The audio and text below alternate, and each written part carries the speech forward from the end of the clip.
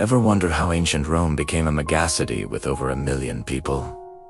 The secret is in their water. The Roman aqueducts were an engineering miracle, a network of man-made rivers that carried fresh water across mountains and valleys right into the heart of the empire. Forget pumps and modern tech.